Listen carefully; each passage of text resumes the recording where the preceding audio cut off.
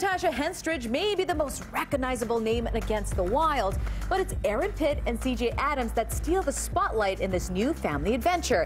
And Erin's ready to take on another big role, too, as an ET Canada reporter. Hey ET Canada, it's Erin Pitt here from Against the Wild. Today I'm at Spa Boutique, going to interview my co-star from Against the Wild, CJ Adams. How awesome is it being my brother in the movie? Oh, It was horrible. You're a great actor and you're really easy to work off of, and it's also great to have like a friend on the set. Another friend on set was their husky hero, Chinook, who helps the pair when they are suddenly lost in the wild.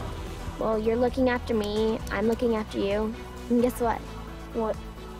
Chinook is looking after both of us. Chinook in the movie is a pretty amazing dog, and I was excited to meet CJ. So I was like, oh, cool, he's in Timothy Green. Hi. Hi. I'm Timothy. And this May, CJ can also be seen in the blockbuster Godzilla. What was scarier, working with Godzilla or working with me and Chinook? Even Chinook.